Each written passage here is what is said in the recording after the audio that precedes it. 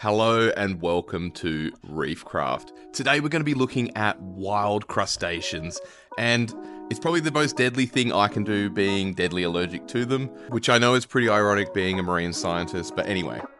You'll notice a lot of this footage is shot at night, and that's because it's so much easier to find these guys out and about during the evenings, and you can also see the eye shine like you can see in that stingray there. What I'm going to show you is a heap of different species. Some you might have already seen or recognized that you see in your tanks and things like that, but hopefully there's a few that you've never heard of or seen before in the wild.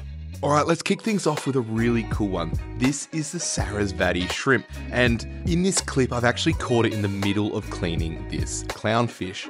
These shrimp are at home in between the stinging tentacles of the anemone, which offers protection from predators. It's in here that they'll actually set up a cleaning station for other animals and fish to come by. They'll then wave their antennae to get the attention of anyone coming past who wants to get cleaned. Then the shrimp will actually jump onto the fish, cleaning its mouth, gills, and all over its body and scales. They'll even do this with divers. This next one is the hingeback shrimp. Now, this one is actually typically pretty hard to spot until you see one and then you can't stop seeing them. You can see them all in the background. They pretty much fill all the crevices in reefs that they preside in. Unfortunately for how pretty this shrimp is, they also smash corals. So they'll eat all your polyps and anemones and things like that. So they are not reef safe. And this next one's a very recognizable species. This is Stenopus hispidus, or more commonly known as the coral banded shrimp. A really cool fact about these guys that I bet you didn't know is they actually extend their range into temperate areas. Now, I know all this footage is from tropical reefs, but they're found all the way down Western Australia and Eastern Australia coasts. It is also a cleaner shrimp, so it does that thing where it waves its antennae just to get the attention of other fish to come across and get it clean. For this next one, I need more footage of this. These are those dancing shrimp that you see on TikTok, but they're just too far away and I didn't find them at night, so I couldn't get a close up shot. But you can sort of see where they live. They're living in a large sponge deep in there, and there's absolutely hundreds of them. Next up, I'm going to show you some clips of different mantis shrimp. Now, what you might not know is there's actually heaps of different species. This one here in particular is a spearing mantis, and they tend to hide in the sand in burrows like this, waiting for passing by fish. In this next clip, you actually see how we communicate underwater. This is how we describe a mantis shrimp underwater with the flicking fingers. Now, if you look at the eyes sticking out of the sand, they are the freakiest things. They have such good vision and it far exceeds any human. We can only see three channels of colour, while mantis shrimps actually can see it through 12 different channels, including UV and polarized light, which is truly mind blowing when you think about it.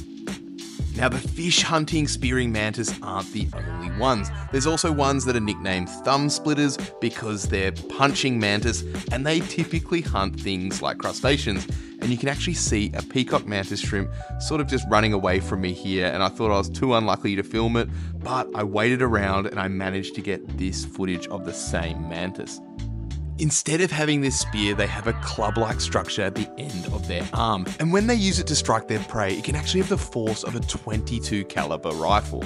It also hits so hard it causes the water to cavitate, so even if it misses its prey, the resulting shockwave can kill or stun it.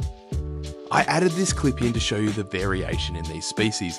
These are little smashes or punches that are running around in about 2 to 5 centimeters of water when the tide is out. Now, these guys were everywhere in the shallows around Fiji, and you actually see this one coming up next, finding another species of mantis shrimp and actually hitting it right there.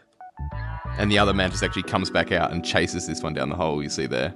So I highly recommend going out and walking around the shallows. Just be careful of the coral. You can see all the digitata growing throughout this whole area. Go back to my last video if you want to learn more about the Montipora. But you never know what you're going to find in the shallows and it is so much fun. So get out there and tell me what you find. Okay, this one I'm gonna bet that you haven't seen it before in an aquarium. It is an orangutan crab. Now, these are particularly rare and they usually tend to hang out on bubble coral, but this one I found in amongst all that fire coral.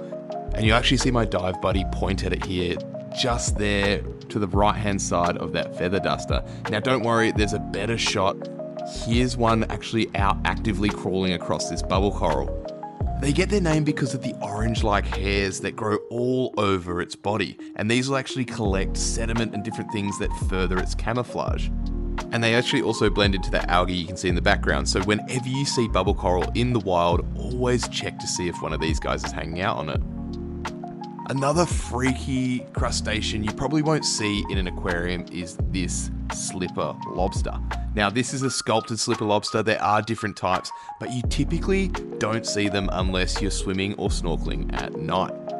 And if you do, you'll see heaps of them. That's because they're really good cleanup crew. They are carnivorous and they'll actually rip apart mollusks and different things with their powerful legs. Apart from that, they just blend in really well with the shape and colorations of their body. They're almost impossible to see during the day. Speaking of things that are almost impossible to see, this is a hairy squat lobster, or also known as the fairy crab. This is a very specialized crab covered in these fine hairs that you can kind of see covering its body, and I almost only ever find them in these sponges. Another species of crab that uses sponges is this Lauridromia species. It uses a sponge's camouflage and it goes out and it finds the perfect sponge and molds it to its body. They also keep caches of these sponges so that if they lose another one, they know where they put the other. This next one is a really cool species of shrimp. It is the Pacific clown anemone shrimp, and whenever I tend to find them, they usually are in these pizza anemones. But they can also host a heap of different anemones as well. This shrimp feeds on the mucus and any leftover food from the anemone. They also feed on detritus and any other small microinvertebrates. These shrimp are actually sexually dimorphic as well. You can see the male down the bottom there. He's tiny when in comparison to the female. The female also has a lot more spots and more pronounced spots all across its body. They are pretty common, but they do tend to be pretty hard to find because they'll actually run away from divers once you see them. So you can see this one retreating back into the anemone. Once you spot them though, they're pretty hard to miss. I actually found this one on an island off Cairns. It was in about 60 centimeters of water, and I actually couldn't believe I found one that shallow. You almost always find them in pairs, and when you only find one, usually the male has run off or is hiding under the lip or the skirt of the anemone and won't come out until you leave the area. Oh, and it's super obvious when they've got eggs. The females are clear, so you can actually see the orange eggs through their body. Keep an eye out for that. Now, these next ones are hard to ID because I am no good with acro crabs, but this is the red guard crab, or as I always have called them, acro crabs. They get their name because they're always living in these SPS corals like Pocillopora, Acropora, Seriatopora, like the one you can see here. And what they actually do is they make a home in between the branches and actually guard that coral. If you actually look real close underneath, you can actually see a citron goby underneath there as well. Now, it's believed that these crabs help maintain the coral colony and keep it healthy and also protect it from predators like the crown of thorns starfish. Now, in tanks, I know a lot of people blame these guys for their corals dying, but it's most likely that the coral is already sick and they're trying to clean it, or there simply is just not enough room for them. Now, it wouldn't be a video without some pistol shrimp, but these guys are so incredibly hard to film. As soon as you get anywhere close, you'll see the goby here actually shooting back and telling the shrimp to go back in as danger. So what I did is I waited around for about 30 minutes, 40 minutes to let them gain my trust and I could actually film this shrimp pushing out and maintaining the hole.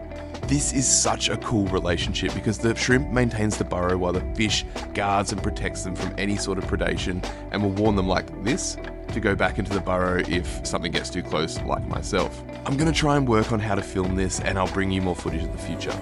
Up next, we have the Saron marmoratus, otherwise known as the common marbled shrimp.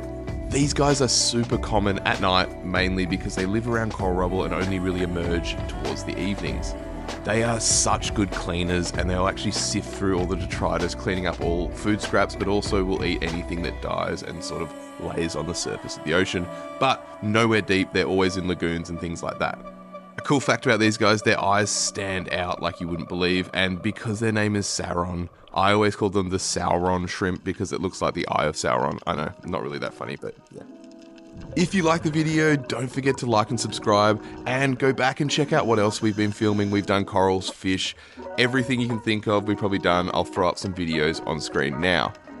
And if there's anything in particular that you want to get filmed, drop a comment and let me know because I head out quite often and I'll see what I can do.